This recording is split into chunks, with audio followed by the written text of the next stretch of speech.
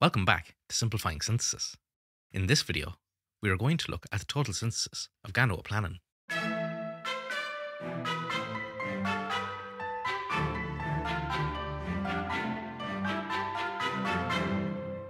This work was published in JACS by the Magauer Group in their paper Total Synthesis of Ganoapplanin, enabled by a radical addition aldol reaction cascade.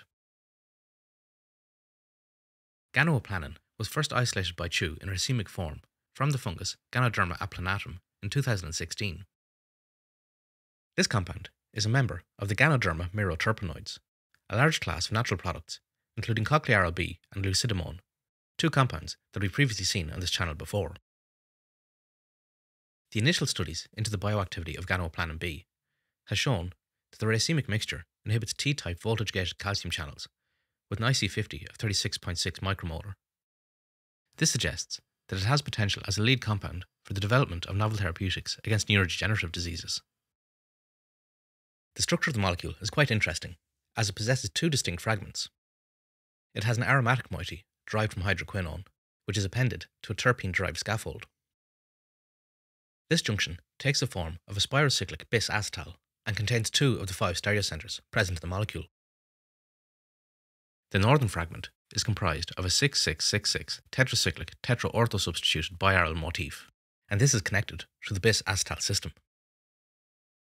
To install the stereochemistry, they would use a chelation controlled cyclization, and the bis acetalization step would be done under thermodynamic control to favour one isomer. This reaction could be done as a cascade. The first step would be triggered by a reduction, generating a hydroxyl group that could undergo intramolecular attack to a ketone to form a hemiacetal. In the second step of the cascade, this hemiacetal would undergo another intramolecular addition, forming the spirobisacetal linkage. The aromatic fragment, on the other hand, would be formed using a radical cyclization, followed by an aldol addition. So let's dive into the synthesis. The first reaction of the synthesis was an Nozaki-Hiyama Kishi coupling. Nickel zero first undergoes oxidative addition into an alkenyl iodide, and this then undergoes transmetallation with the chromium 3 species. The nickel 2 species that is produced is then reduced by reaction with chromium 2.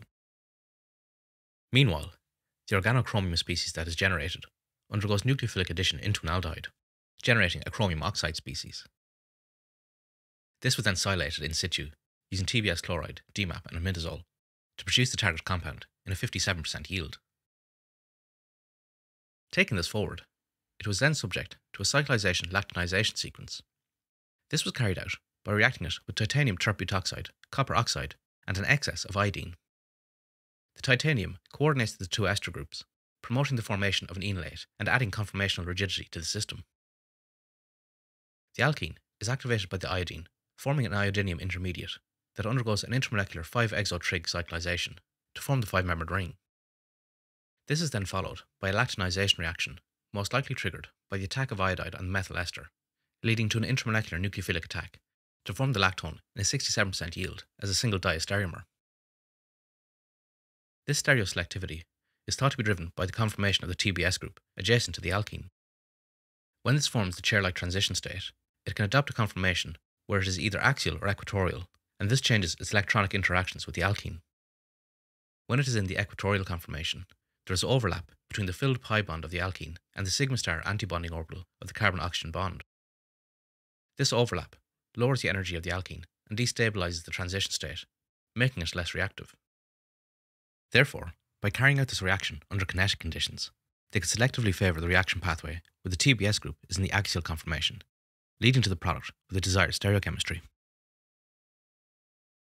This product was then taken forward to a Krapcho decarboxylation the reaction is carried out in wet DMSO, and lithium, present as lithium chloride, first coordinates between the two ester groups. This increases the electrophilicity and allows chloride to act as a nucleophile to attack the methyl ester. This triggers the expulsion of carbon dioxide, which is lost as a gas, together with methyl chloride. This forms an enolate that is then protonated by water present in the DMSO, forming the target compound in an 87% yield. In the next reaction, an enolate was once again formed at this position, this time using lithium HMDS. This then attacked allyl iodide to form the product in a 90% yield. With this alkene in place, it was then subject to an ozonolysis reaction. Ozone first undergoes a 3 plus 2 cycloaddition to the alkene, forming a trioxolane ring that then undergoes cycloreversion and recombination to form a molozonide. This then reacts with triphenylphosphine, which reduces it to form an aldehyde and complete the synthesis of fragment 1 in an 85% yield. To synthesize fragment 2, they started with a hydroxyisobenzoic acid compound. This underwent a one-pot Mom protection esterification reaction. The molecule is first deprotonated with sodium hydride, and the resulting phenolate and carboxylate attack Mom bromide, installing the Mom groups.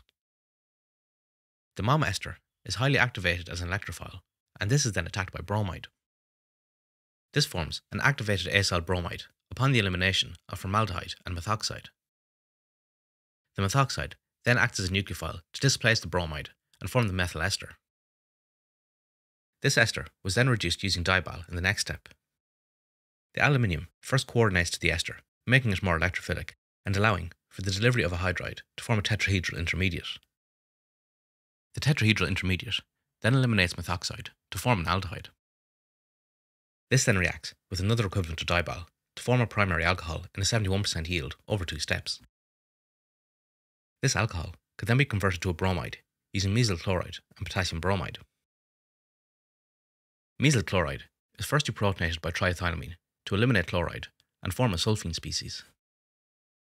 This highly reactive intermediate is then attacked by the hydroxyl group, and a proton transfer yields a mesylated compound. This mesyl group can then be displaced by bromide, forming the target compound in a 70% yield. In the next reaction, dihydroxyquinone was first deprotonated with potassium carbonate, and the resulting phenolate then displaces the bromide forming an ether linkage in a 79% yield. The remaining hydroxyl group was then oxidized in the next reaction. This was done by reacting it with phenyliodine diacetate, which displaces an equivalent of acetic acid and activates the aromatic ring towards nucleophilic addition. Methanol, present as a solvent, attacks at the par position to displace the iodine species and form the target quinone acetal in an 82% yield. With this in place, it was then set up for the critical radical cyclization aldol addition cascade. Triethylborane first reacts with atmospheric oxygen to produce a boron peroxide, together with an ethyl radical. This can abstract a hydrogen radical from tributyl tin hydride to form a tin radical that then reacts with the aromatic iodide. This produces a radical that then undergoes conjugate addition into the quinone system, which is activated by coordination to triethylborane this eliminates another equivalent of ethyl radical, which continues the reaction cascade. Meanwhile, the enolate formed by this intramolecular addition then undergoes an aldol addition into the aldehyde of fragment 1, forming the target compound in an 81% yield. Taking this forward, the hydroxyl group was oxidized using Dess-Martin periodinane. This is attacked by the hydroxyl group, displacing an equivalent of acetate. This then acts as a base to deprotonate the molecule and form the carbonyl. This reaction was worked up, and the crude material was taken forward without purification and subject to an aromatization reaction. While this transformation could be completed by reacting it with PTSA, this proved to be low yielding and difficult to reproduce. They discovered that by first reacting it with DBU, they could then reliably carry out the reaction with a 49% yield over three steps. They propose that the DBU promotes an epimerization reaction and one of these epimers is more susceptible to the aromatization reaction. With this in hand, the benzyl group could be deprotected using catalytic hydrogenation, and the more acidic phenol could be selectively protected by deprotonating it with triethylamine and reacting it with acetic anhydride. DMP was then employed once again, this time to oxidize the primary hydroxyl group, forming the target aldehyde in a 99% yield.